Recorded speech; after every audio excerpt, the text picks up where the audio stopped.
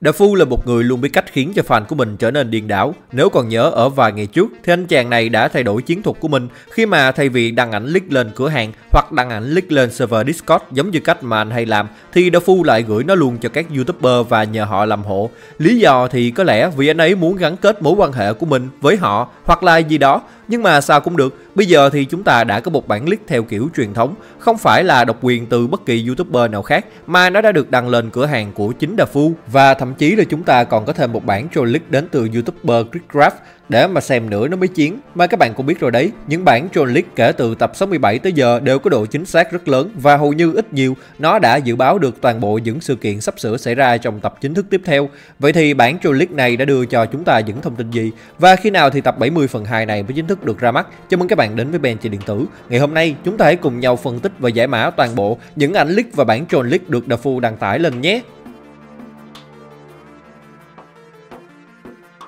Như vừa nói thì cách đây khoảng 2 ngày, chính tay đà phu đã gửi cho cô nàng youtuber Datebayo hai tấm ảnh leak độc quyền và nhờ cô đăng lên trên kênh của mình để thông báo đến các fan. Và bây giờ thì chúng ta lại tiếp tục có thêm một tấm ảnh leak nữa. Nhưng thay vì nó được đăng bởi các youtuber thì chính đà phu đăng lên trên cửa hàng của mình. Như các bạn có thể thấy trong hình này thì nó là một cánh cửa thép rất lớn. Nếu nhìn vào bức tường và toàn cảnh của bức hình thì ta có thể đoán rằng đây là một địa điểm nằm ở các tầng dưới cùng của tầng hầm. Bởi vì các bạn có thể thấy hai bức tường ở hai bên cánh cửa là rất lớn và chắc chắn. Thông thường thì những bức tường như thế này sẽ được làm móng nền cho các tòa nhà cao tầng vì nó có khả năng chịu lực cực lớn. Vậy nên mình nghĩ khả năng cao đây sẽ là những tầng cuối cùng của căn hầm mà đội Plunger Cameraman đang ở. Hơn nữa, nếu các bạn còn nhớ, ở tập 70 phần 1 khi Titan Cameraman xuất hiện thì anh ấy đã vô tình phá hủy con đập ở ngay căn hầm và điều này dẫn tới việc mọi nguồn điện ở bên trong đều đã bị tắt và tất cả chỉ còn lại một màu đen tối tăm ta không biết được bất cứ điều gì cả. Thế nhưng giờ đây, trong bức ảnh này thì nó khá là sáng và ta có thể thấy rõ luôn cả màu của cánh cửa, màu của bức tường và thậm chí là những vết gỉ sét trên cánh cửa nữa. Điều này đồng nghĩa là bằng một cách nào đó, nguồn điện đã quay trở lại hoặc chỉ đơn giản là ai đó đã kích hoạt máy phát điện dự trữ để tìm lại nguồn điện mà thôi. Câu hỏi quan trọng ở đây chính là việc điều gì đang chờ đợi chúng ta đằng sau cánh cửa đó. Chắc chắn phải có lý do gì đó thì Dafu mới đưa tấm ảnh này lên trên cửa hàng của mình chứ đúng không? Bởi vì ai cũng biết là nó sẽ rất vô nghĩa nếu như chỉ đưa một cánh cửa vô trì như thế này lên cửa hàng của mình. Mình không biết các bạn thế nào, chứ mình nghĩ rằng đây là một thứ vô cùng quan trọng. Hơn nữa, nếu các bạn để ý thì ở bên phải có một bảng điều khiển, nơi để người sử dụng có thể nhập mật khẩu vào cái bảng điều khiển, trông cực kỳ giống với cái mà Lucky Cameraman đã mở khóa ở tập 68 bằng thiết bị mà đặc vụ đã cung cấp cho anh. Nếu bạn còn nhớ thì ở hai tấm ảnh leak trước đó, chúng ta được thấy Dark Speakerman và Lucky Cameraman đang ở hai địa điểm khác nhau. Chúng ta hãy nói về trường hợp của Dark Speakerman trước. Anh chàng này đang đứng ở một vị trí nào đó mà ta có thể khẳng định là không phải ở trong thang máy nữa. Nếu như vậy thì phải chăng là cả đội đã đột nhập vào căn phòng này và họ đã gặp một sự cố gì đó dẫn tới việc một ai đó đã gặp nạn và rồi Dark Speakerman mới lao đến đưa tay và giúp đỡ chăng? Ừ thì nghe cũng hợp lý đấy, nhưng mà nếu nghĩ kỹ lại thì nó không thuyết phục chút nào. Bởi như mình vừa phân tích lúc nãy, dựa vào hai bức tường to bự ở hai bên thì ta có thể xem xét rằng đây là một nơi nào đó ở tầng dưới cùng và nếu là ở tầng dưới cùng thì Lâm Di sợ bị rơi xuống vực giống như tấm ảnh lít kia đúng không? Hơn nữa thì các bạn hãy xem bức tường của tấm ảnh lít mà Đà Phu đăng lên trên cửa hàng của mình mà xem, trong nó khá là chỉnh chu và chắc chắn là nó giống như kiểu là một nơi nào đó cực kỳ quan trọng và chỉ có những kẻ có cấp cao mới được vào đây vậy. Và nếu còn nhớ thì ở trong tập season 22, Đà Phu đã có một phần đoạn được thêm vào, đó là khi cả đội lao vào bên trong căn hầm nhờ sự giúp sức của một người anh hùng Lost Pickerman và sau đó, cả team chuẩn bị đi sang trái, thì Lucky Cameraman đã phi lên và ngăn cản cả đội lại. Sau đó, anh rút ra chiếc máy tính bảng và lúc này, nó chiếu khung cảnh gã Santis Skibidi Toilet đang ra lệnh cho lính của gã làm những việc gì đó. Nếu ta quan sát những thứ đã xuất hiện bên trong máy tính bảng, thì nó cũng khá giống với bức ảnh clip này dù cho cánh cửa mà gã Santis Skibidi Toilet đi qua thì không giống cho lắm. Nhưng ai mà biết được thì đây là một nơi được bảo mật nghiêm ngặt và có tới hai lớp cửa đúng không?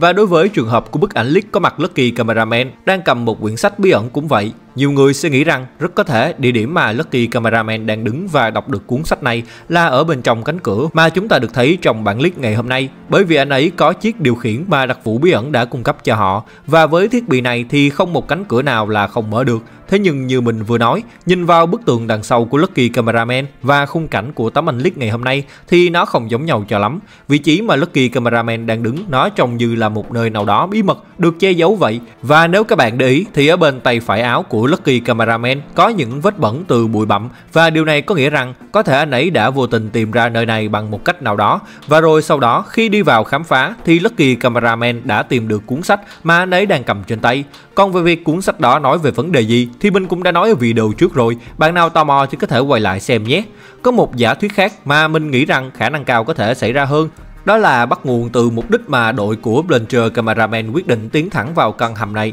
và chúng ta đều biết rằng tất cả bọn họ đang nhắm tới người đứng đầu của đám Skibidi Toilet, đó là gã scientist Skibidi Toilet và bức ảnh leak này có thể là một điểm báo trước cho chúng ta rằng lão già khoa học kia đang trú ẩn ở phía sau cánh cửa này. Hơn nữa, dựa vào tất cả ba tấm ảnh leak mà chúng ta có được thì có thể suy ra rằng tập phim này sẽ không có nhiều cảnh đánh nhau và nó có thể sẽ ngắn hơn so với phần 1. Nhưng dù có bất cứ điều gì đang hiện diện ở đằng sau cánh cửa đó, thì mình đều nghĩ rằng nó chắc chắn sẽ là một tiết lộ lớn cho người xem chúng ta. Bởi sau khi bức ảnh này được đăng lên cửa hàng của Dafu không lâu, thì YouTuber Greg đã livestream trên YouTube và anh ấy nói rằng anh ấy sẽ chiếu một cảnh clip độc quyền mà Dafu đã gửi cho mình vào khoảng 5 giờ sáng theo giờ Mỹ. Tất cả chúng ta đều biết rằng trước đây Greg đã xuất hiện trong video tiết lộ gương mặt thật của Elite Cameraman và anh chàng này cũng đã tuyên bố rằng mình chính là Dafu. Sau một khoảng thời gian từ tuyên bố đó, thì ai cũng biết rằng đây là một cú biệt và chắc chắn rồi, Dafu, Elite Cameraman và Greg là ba người khác nhau và họ đồng thời cũng là những người bạn rất thân thiết với nhau.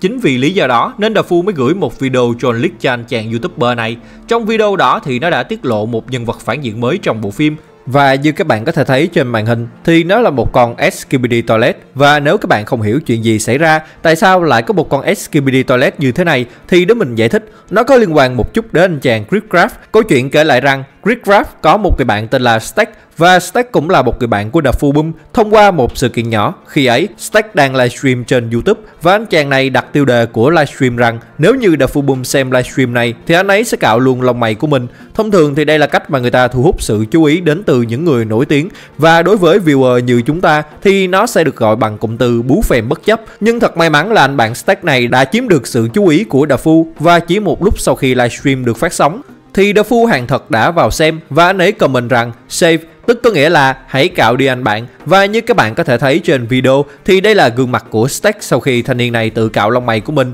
Thực sự mà nói, đây là một vị hảo hán Giga Chat. Stack đã chơi theo đúng nguyên tắc và nói là làm và chính nhờ vào việc đó mà anh đã nổi lên như cồn ở bên Lào. Người xem của anh chàng này cũng bắt đầu gọi anh ta với cái tên là S, thay vì là Stack và đó chính là lý do vì sao mà ngày hôm nay Dafu mới đưa lên bản Troll League với con Skibidi Toilet có quả trứng ở phía trên như thế này. Mặc dù nhiều người sẽ nghĩ rằng bản league này thực sự là một bản Troll League theo đúng nghĩa đen chứ nó không có thêm chi tiết gì. Thế nhưng các bạn hãy chú ý vào phần background ở phía sau con Skibidi Toilet này. Nó trông hệt với background của tấm ảnh leak mà Dafu đã đăng lên trên cửa hàng của mình. Liệu đây sẽ là một điểm báo cho việc sẽ có thêm một chủng loài Skibidi Toilet với sức mạnh vô cùng bá đạo xuất hiện trong series phim nữa hay chăng? Tất nhiên, ý của mình không muốn nói là sẽ có một con Skibidi Toilet xuất hiện, bởi nếu vậy thì nó sẽ bủn bủn lờ ma quá, vì ai cũng biết rằng là trứng mong manh dễ vỡ như thế nào. Nhưng hãy nhìn vào chiếc bồn cầu mà nó đang ngồi xem, nó được thiết kế bằng kim loại xịn trông rất chắc chắn và nguy hiểm. Thậm chí khả năng cao, con Skibidi Toilet này sẽ kháng được những nhát chém của Titan TV Man luôn đấy chứ chẳng đùa.